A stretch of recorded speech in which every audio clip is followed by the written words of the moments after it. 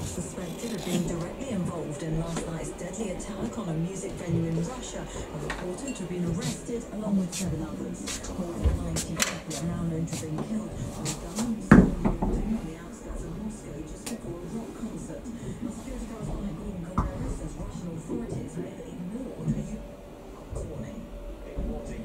Thank you.